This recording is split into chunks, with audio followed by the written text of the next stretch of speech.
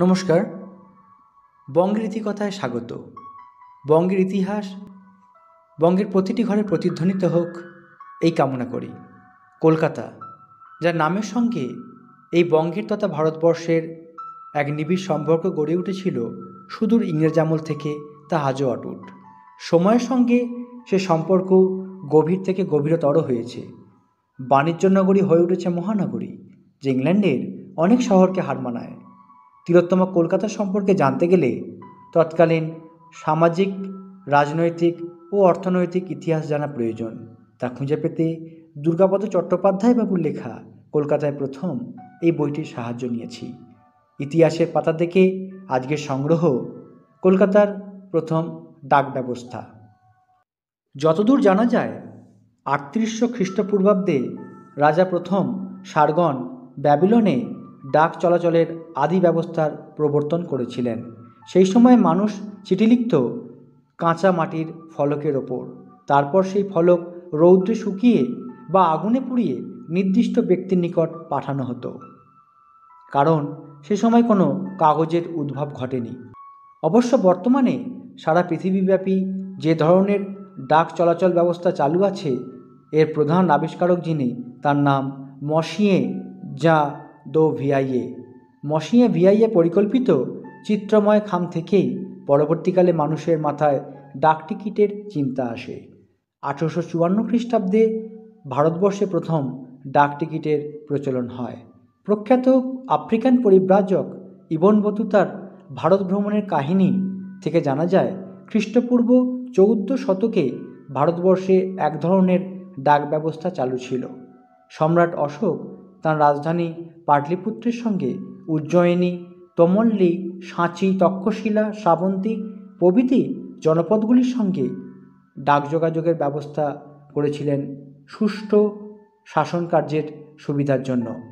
প্রাক দূত মেগাস্তিনিসের বিবরণ ও কৌটিল্যের অর্থশাস্ত্র থেকে জানা যায়, অশোকের পূর্ববর্তী মগধ সম্রাট চন্দ্রগুপ্ত মৌর্যের সময়ও ভারতবর্ষে অশ্বারোহী বার্তাবাহকের ব্যবস্থা ছিল।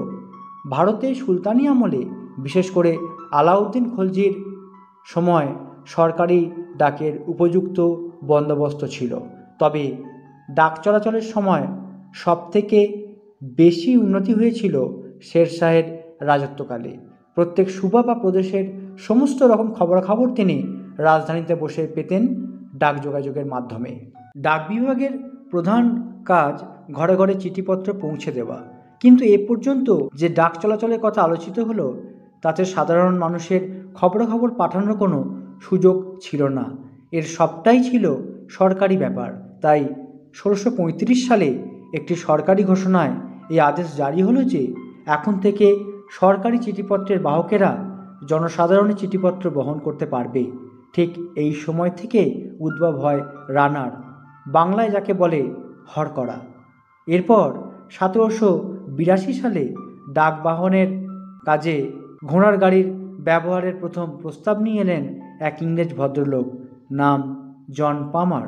এর আগে পর্যন্ত সরকারি রানারদের মাধ্যমে চিঠিপত্রের আদান প্রদান চলত। মাঝে মাঝে রানাররা দ্রুত চিঠিপত্র পৌঁছে দেওয়ার জন্য ঘোড়াও ব্যবহার করত। ভারতে আধুনিক নিয়মে ডাক চলাচল শুরু হয় ইংরেজ আমলে। সতেরোশো ছেষট্টি সালে গভর্নর লর্ড ক্লাইভ প্রথম সরকারি ডাকের প্রচলন করেন।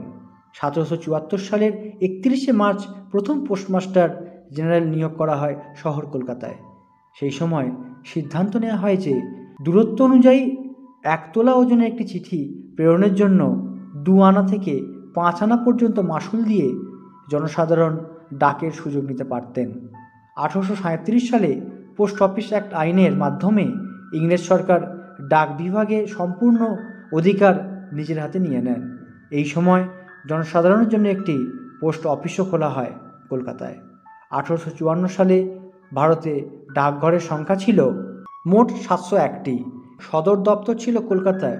বর্তমানে যেখানে পোস্টাল মিউজিয়াম আছে ঠিক সেইখানে। আঠেরোশো ছিয়াত্তর সালে এশিয়ার দেশ সমূহের মধ্যে ভারতই সর্বপ্রথম বিশ্ব ডাক সংস্থার সভ্য হয়। ভারতে আঠেরোশো ছত্রিশ সালে রেলগাড়ির মাধ্যমে এবং উনিশশো এগারো সালে উড়োজাহাজের মাধ্যমে ডাক সার্ভিস চালু হয়। বিশে আগস্ট উনিশশো বিরাশি পর্যন্ত ভারতবর্ষের ডাকঘরের সংখ্যা ছিল এক লক্ষ ছাব্বিশ হাজার দুশো বাইশটি। এবার আসছে পোস্টকার্ড ও ডাকটিকিটের প্রসঙ্গে। বিশ্বে প্রথম পোস্টকার্ড প্রবর্তিত হয়েছিল অস্ট্রেলিয়ায়। আঠেরোশো উনসত্তর সালে উদ্ভাবন করেন মিস্টার এফ হারম্যান নামে অস্ট্রেলিয়ার এক অধিবাসী। ভারতবর্ষে পোস্টকার্ড চালু হয় আঠেরোশো উনআশি সালের জুলাই মাসে। তখন পোস্টকার্ডের দাম ছিল এক পয়সা এবং এয়ারমেল পোস্টকার্ড চালু হয় চব্বিশে জুন উনিশশো একত্রিশ সালে। পোস্টকার্ডের পরই এসে যায় ডাকটিকিটের কথা। আঠেরোশো চল্লিশ সালের ছয়ই মে পৃথিবীর প্রথম ডাকটিকিটটি প্রকাশিত হয়েছিল ইংল্যান্ডে যার নাম ছিল পেনি ব্ল্যাক। এটির মূল্য ছিল এক পেনি ডাকটিকিটের উদ্ভাবক হলেন একজন ইংরেজ সাহেব, নাম স্যার রোনাল্ড হল। জন্মগ্রহণ করেছিলেন ইংল্যান্ডে সতেরোশো পঁচানব্বই খ্রিস্টাব্দের তেসরা ডিসেম্বর। ভারতবর্ষে ডাকটিকিটের ব্যবহার শুরু হয় আঠেরোশো চুয়ান্ন সালের পাঁচই মে। ভারতীয় ডাকটিকিটের ইতিহাসে কলকাতার নাম ছিল বিশেষভাবে স্মরণীয়, কারণ ভারতের প্রথম ডাকটিকিট ছাপা হতো কলকাতায়। আঠারোশো ছাপ্পান্ন সাল পর্যন্ত ভারতের সমস্ত ডাকটিকিট ছাপা হতো কলকাতা শহরে। পরে ডাকটিকিটের চাহিদা অত্যধিক বেড়ে যাওয়ায় ইংরেজ সরকার ডাকটিকিট ছাপার দায়িত্ব দেন লন্ডনের টমাস দো লা রু অ্যান্ড কোম্পানি নামক এক সংস্থাকে। এরপর উনিশশো ছাব্বিশ সালে ভারতের নাসিক শহরে ইন্ডিয়া সিকিউরিটি প্রেস প্রতিষ্ঠিত হয় এবং ওই বছর থেকে ওই ইন্ডিয়া সিকিউরিটি প্রেসকে ভারতের প্রথম ডাকটিকিট ছাপার দায়িত্ব দেওয়া হয়। ভারতের প্রথম ডাকটিকিটটির মূল্য ছিল এক আনা। টিকিটের মধ্যিখানে ছিল ইংল্যান্ডের রানীর প্রতিচ্ছবি। ওপরে লেখা, ইন্ডিয়া এবং নিচে ছিল, ওয়ান আনা এই কথা কটি। অবশ্য এর আগে আঠেরোশো চুয়ান্ন সালের পাঁচই মে আধ আনার ডাকটিকিট বাজারে বেরিয়েছিল। এক আনা দামের ডাকটিকিট বের হয় আঠেরোশো চুয়ান্ন সালের ছাব্বিশে জুলাই। ওই বছরই চার আনা দামের আটকোনা ডাকটিকিট বের হয় তেরো থেকে আঠাশে অক্টোবরের মধ্যে। এই সময় ভারতের ডাকঘরের সংখ্যা ছিল দুশো এক ও ছোট ডাকঘর বা ব্রাঞ্চ পোস্ট অফিস ছিল মোট চারশো একান্নখানা, যার সদর দপ্তর ছিল কলকাতার ডালহৌসি অঞ্চলে। বর্তমানে জেনারেল পোস্ট অফিসের বাড়িটা প্রথমে ছিল ইংরেজ গোড়াপল্টনদের সেনানিবাস।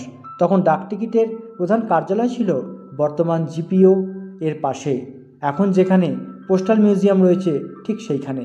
পরে সতেরোশো বিরাশি সালের গোড়াদের সেনানিবাসটা ফোর্ট উইলিয়ামে উঠে যাওয়ার পর ওই পরিত্যক্ত বাড়িটাকে কলকাতার প্রধান ডাকঘরে পরিণত করা হয়। মনে রাখতে হবে, আধুনিক ডাক চলাচল প্রথম শুরু হয়েছিল এই কলকাতা শহরে সতেরোশো ছেষট্টি সালের লর্ড ক্লাইভের আমলে, যখন তামাম ভারতের মধ্যে মোট পোস্ট অফিস ছিল মাত্র একটি, যার নাম কলকাতা।